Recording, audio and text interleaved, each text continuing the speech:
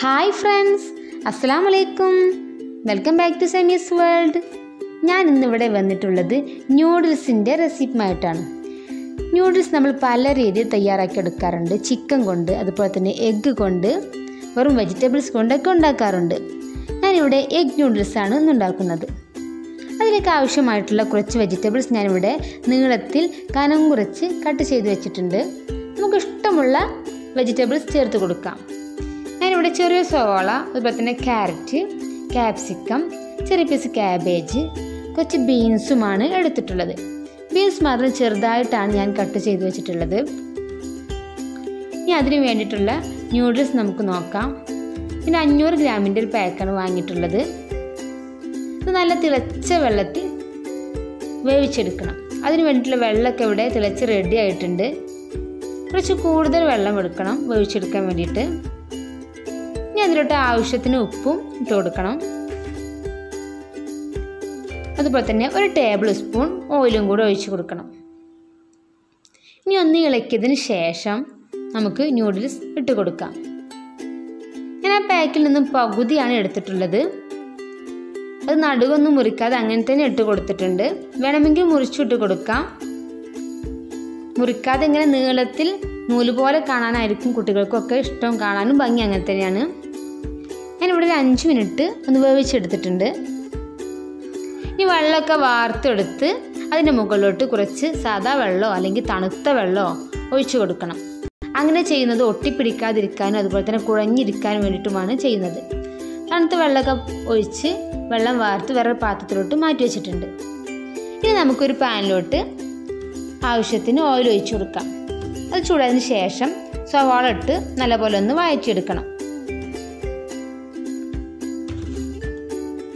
അതിലോട്ട് നമുക്ക് ഒരു ടീസ്പൂൺ വെളുത്തുള്ളി ഇഞ്ചി പച്ചമുളക് പേസ്റ്റും കൂടെ ചേർത്ത് അതിന്റെ പച്ചമണം മാറുന്നത് വരെ നല്ലപോലെ ഒന്ന് വഴച്ചെടുക്കണം ഇനി നമുക്ക് അതിലോട്ട് കട്ട് ചെയ്ത് വെച്ചിട്ടുള്ള ഓരോന്നോരോന്നായിട്ട് ഇട്ട് കൊടുക്കാം.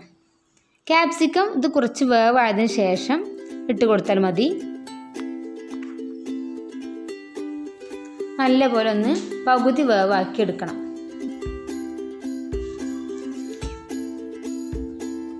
ഇനി ഇതിലോട്ട് നമുക്ക് ഒരു ഒന്നര ടീസ്പൂൺ ചില്ലി സോസ് ചേർത്ത് കൊടുക്കാം.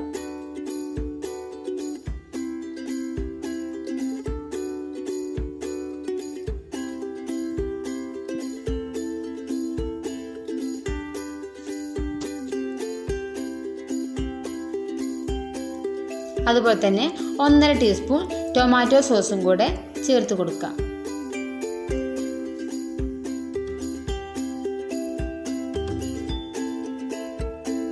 ഒരു ടീസ്പൂൺ സോയാ സോസും കൂടെ ചേർത്ത് കൊടുക്കണം.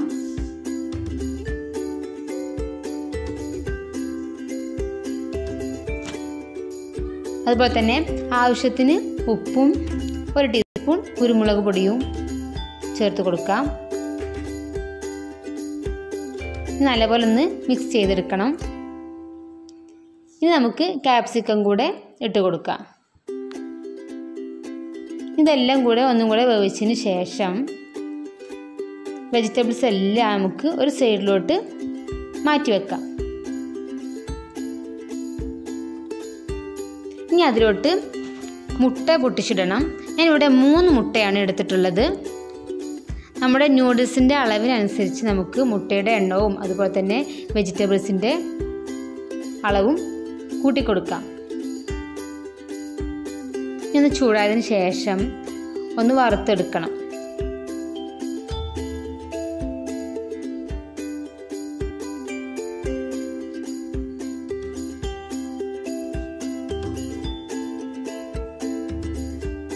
ഇതെല്ലാം കൂടി ഒന്ന് മിക്സ് ചെയ്തെടുക്കണം.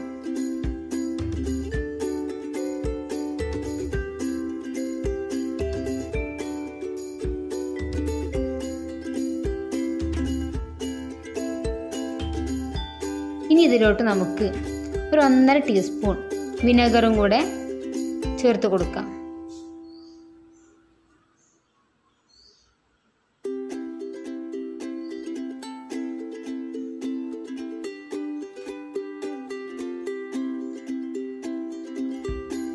ഇതെല്ലാം ചേർത്തപ്പോൾ നല്ല സ്മെല്ലാണ് നമ്മുടെ സോസുകളും അതുപോലെ തന്നെ കുരുമുളക് പൊടി വിനെഗറും എല്ലാം ചേർത്തപ്പോൾ നല്ല സ്മെല്ല് വരുന്നുണ്ട്. തീർച്ചയായിട്ടും എല്ലാവർക്കും ഇഷ്ടപ്പെടും. ഉണ്ടാക്കി നോക്കണേ. ഇനി അതിലോട്ട് നമുക്ക് ന്യൂഡിൽസും കൂടെ ചേർത്ത് കൊടുക്കാം. നമുക്ക് എരിവിന് ആവശ്യത്തിന് കുരുമുളക് പൊടിയൊക്കെ ചേർത്ത് കൊടുക്കാം. ഞാനിവിടെ കുറച്ചും കൂടെ കുരുമുളക് പൊടി ചേർത്ത് കൊടുക്കുന്നുണ്ട്. കുട്ടികളൊക്കെ ചെറിയ കുട്ടികളൊക്കെ ഉണ്ടെങ്കിൽ നമുക്ക് കുറച്ചിട്ട് കൊടുത്താൽ നല്ലപോലെ ഒന്ന് മിക്സ് ചെയ്തെടുക്കണം. ഇപ്പോൾ നമ്മുടെ നൂഡിൽസ് ഇവിടെ റെഡി ആയിട്ടുണ്ട്.